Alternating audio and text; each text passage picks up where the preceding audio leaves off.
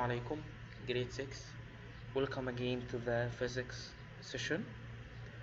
Today, inshallah, we gonna start the lesson number 3 in this chapter, chapter number 2. And you can remember this is chapter talking about the motions. So, today, or the title for today, we're going to another phenomena or big phenomena in physics. And this is talking about the law of motions and that's discovered by Newton. So the title for today, Newton's law of motions. Today we have three laws of motion and that's describing all the motions of all objects around you. We have three main laws in motion that's described by Newton's and we can call this Newton's laws of motion. We have number one or law number one of motion by Newton's first law that's talking about the uh, inertia. And we know in this lesson we can know the inertia. And number two that's talking about any force that's giving any objects that's making acceleration for for this is object number three that's in opposite forces acting together that's equal in the strength and opposite in direction so today we're gonna talk about the Newton's laws of motions.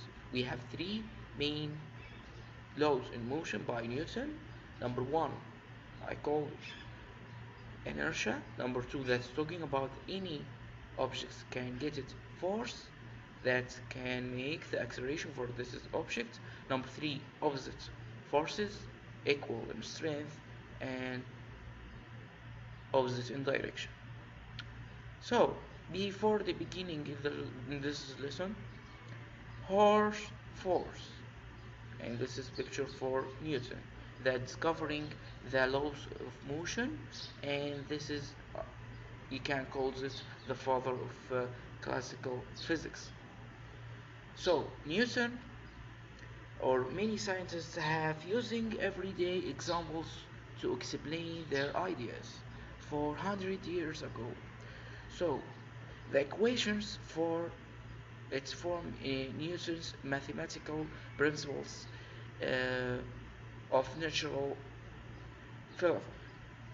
philosophy which was first published in the 1680 so this is the first time that's published this is a theory or this is laws that's describing the motion so Newton's used this is book uh, to set down his laws of motion and describing all the motions for all objects around you. Those three sample of laws describing much of the motions around you and they continue to be studied today in our life and we can feeling the benefits for the scientists like Isaac Newton and that's describing also phenomena here in physics like gravity and the laws of gravity and the laws of motion and that describing three main laws that describing all the motions. So in the beginning you can beginning in the law number one or the Newton's first law of motion. So what is Newton's first law of motion? Uh, how can we can describing the Newton's first law of motion? So if an object in not moving it will not start moving until affecting or until force acts on it. So any object stay in this state will not affecting any other force. So in object is non-moving or not moving we stay or um, until non not moving for acting with another force. So if an object is moving that continue moving in constant velocity that until a force act to change the speed of uh, this is object or direction. So the law or Newton's first law of motion that describing the motion in state and the changing the state of an object that need force. Any object we can change the state of this object due to the force. So in any object stay not moving? We give him any force can make acceleration, acceleration or moving or changing the states and any object in motion and I give him force that continue to uh, this is in raising the speed of this object or changing the directions Newton laws in the simple words first law of motion by Newton's that's talking about any object or an object at rest will remain at rest unless acted upon by an unbalanced force. So an object moving at a constant velocity will continue moving at a constant velocity unless acting upon by unbalanced force to change the speed of this is object or the direction for this object. So you can watch that uh, video that's explaining this is ball that can stay in this is state non-moving before this is man kick it and give it the force to changing the state to moving to move to make the moving an acceleration for this is ball. And this is ball coming again to slow down and stop before or because the friction force that's kind of force. So any objects need to change the states of this is objects by motions. Again you can watching this is from uh, formula or this is equation that's describing the Newton's first law. The all forces or net forces that equal m times a mass times acceleration. So when force equals zero that's meaning this is object non-affecting with any forces non-affecting with any forces so the net force equals zero so the force is cancelled. We can cancel the forces. So the acceleration absolutely zero because the force zero. So 0 times m or mass that's equal to 0 so none a change in motion. So we have to change the motion any object in motion changing the speed and the direction changing uh, a non-moving object to moving object that needing force. So first law of motions by Newton describing any change of state by forces. So this is ball. Can change the state of this ball to motion by kick it by give it the force. And slow down and stop again by force called friction force. And we know what's the meaning of friction force before in the last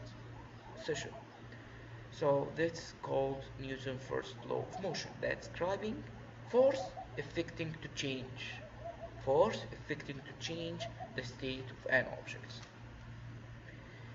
now you can go to the inertia this is laws of, uh, of Newton's of motions, Newton laws of motions, that's called inertia. What's the meaning of inertia? All objects raises change in motion and change in motion by force. Resistance or resistance to change in motion is called inertia. Inertia that's ability to change your states or ability to change the state of an object. And the greater that mass and object, the greater inertia. So the inertia that's greater in when the object greater in mass. And the greater force required the change of uh, the, uh, the motion and that means acceleration after that. So to understand the inertia, we can watch this is video and this is ball can changing the state of this is ball by inertia and in another picture here when you are riding the car and with happen something or accident suddenly you or your body going forward. Why? Because the ability to changing the state the body state and this is called inertia. So inertia that's ability to keep it in your state when affecting by another forces. So you can watch this is ball and the change of state of this is ball that's due to the force. And this is called inertia. Again inertia that ability for stay in the in your state or the object stay in state that due to affected by forces and that's the, uh, the Newton first law called inertia. And the larger inertia that with a large mass and with a large amount of force that make a large motion or uh, momentum and large acceleration. Excellent. Now you can go to the Newton's second law of motion. So what is Newton's second law of motion? Ah, Newton's second law of motion states an object acceleration depend on its mass and on the net force acting on it so now after I giving the force for this is object that's giving acceleration. So this is acceleration depending on two factors. Number one mass of this is object and the net force. I give him this net force. So the motion of an object depends on two things. Number one mass and number two the net force so the relationship between uh, this is factors that uh, like this acceleration acceleration for all objects in motion that equal net force by mass. Net force I give him this is net force and the mass for this is object. So the formula can rearrange it to show how much force must be applied to an object to get to get it to acceleration at a certain rate. So this is law or this is a formula that's main formula for Newton's to describing the motions. Net force or F equal mass m times a acceleration. And we know before that force force that uh, who can tell me? Force that measures by units newton. And mass by kilogram or gram. And acceleration that measured by units called uh, who can tell me?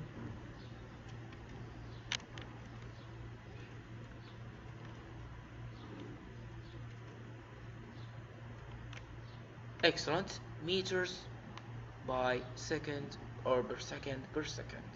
And that is called meters per second squared. So again acceleration is measured by meters per second per second. That's called meter per second square and mass is measured by kilogram. That in uh, SI or uh, the international systems for units and Newton's second law shows that force is measured by kilogram times meter. So now we should know another unit. We know the units of speed and units for acceleration and units for force and units for mass. So now what is the meaning of uh, or what we, who can describe the units of, uh, of uh, force by Newton. So, force can measured by units called Newton. What's that uh, equal? Kilograms times meter per second squared, and this is meaning that kilogram for mass and meters per second squared that acceleration so all of this amount of units that can call it newton. So newton equal kilogram times meters per second squared. And newton that's called for this is amount of, of units in its uh, units of force or international system of units. I hope you understand the second law of motion again second law of motion that's describing the amount of acceleration of an object in motion that's dependent on of mass and net force. Acceleration equal net, net, net force by mass and net force equal masses times acceleration and this is big phenomena or big formula in the classic physics that's related to the motion and acceleration you can remember that's uh, measured by meters per second squared and the masses you know that's measured by kilograms. And all of this can equal newton and newton a new unit that measuring the force and equal that equal kilogram times meters per second squared. And this is in international system for units SI now you can go to the next step but before you can making a summary again for the Newton second law of motion. The big phenomena here F equal ma F force or net force equal mass of an object and times acceleration of an object in motion. So this is car and I put it my leg in the fuel the car is starting to motion. So that's giving force to make it motion. So the force that's giving in an, in an object that give him or they do to make him make a motion.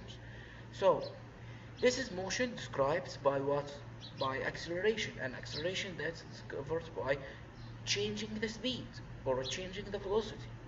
So force give it to an object. This is car that make it to uh, to changing this the state and make it motion. And describing this motion by acceleration. And acceleration depending on two factors m mass of this is object and f force for this is object. So you can watch there. This is boy that can kick the ball and give it force to make it acceleration or make it motion that's driving by by acceleration. And this that give forces in this is direction in this is box to make it move in the same acceleration. And this is acceleration depending in two thing that mass of this is ball or this is box and the forces that's giving to. So the force and the mass that's depending the amount of acceleration. Again Newton's second law of motion that describing the amount of acceleration depending on the mass and force. Now I hope you understand the second law of motion and you can remember any question in any time just tell me and send me in WhatsApp. The last point in our lesson today is the what Newton's third motion and that's describing the opposite forces that's equal in strength but opposite in direction. Third Newton's laws that of motion that's talking about for opposite forces acting together in opposite direction. So Newton's third law of motion states uh, that if one object is exerts a force and another object, the second object exerts a force and if equal strength in the opposite direction of the first object. So what does this mean? In the simple word what does this mean or Newton's third law of motion means? In the simple word there is action and reaction. Action and reaction that equal in strength but different in the direction and actually opposite in direction. So if we have two forces describe this is state of motion. We have two kinds of motion. Uh, we have two kinds of force. Number one in this is direction number two in this is direction. So if this is boy that's riding this is bicycle. This is well to do to make motion we have two forces. Equal in strength but in different direction in opposite direction. So in the simple words the Newton third of motion we can call it every action there is a reaction. Every action there is a reaction. Equal in strength and opposite in direction. The simple word the third law of motion by Newton's I can call it every action there's a reaction equal in strength and opposite in direction. So another way states uh, Newton's law of uh, motion that's describing every action there is an equal but opposite direction. Action and reaction forces do not necessarily cancel out because they may act on different objects so you can watch this is video that's describing the action and reaction. There in this is video here the force equal. But in different equal in strength in different uh, in different direction. This is direction this is direction and this is different direction. So action and reaction. This is Newton third law of motion number two this is video that's describing the uh, reaction and re and action and the, uh, there is different reaction in different direction but in equal in force in strength. Again action and reaction and difference in direction. So this is the end of this lesson but we but before finishing this is lesson we can watching a video that sample video for uh, make a summary for all what we said about the third or three laws of motion by Newton's. I'd like to talk about Newton's three laws of motion. Sir Isaac Newton lived in the 1600s and developed three laws to describe all states of motion. Law number one, or also called the law of inertia, states that matter wants to resist any change in motion. If an object is at rest, it wants to stay at rest. If an object is in motion, it wants to stay in motion. Also, the more massive an object, the greater its inertia.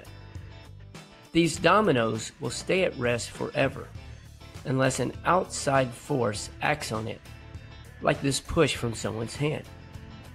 Also, this player punts the ball. Due to inertia, what does the ball want to keep doing? Stay in motion. But why doesn't? Because outside forces like air friction and gravity act on it. Why is this car hard to push? That is because it wants to stay at rest and it has a larger mass than the man trying to push it.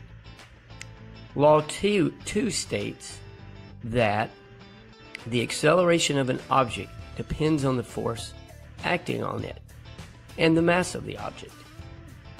There's also an equation to go along with this law, and it states that force equals mass multiplied by acceleration. Look at this golf swing. The golf club has a high rate of acceleration and strikes the golf ball with great force. This hammer has a greater mass and acceleration than the piggy bank. And look what happens. And finally, Law 3 states that for every action, there is an equal and opposite reaction. Look closely at this jellyfish swimming.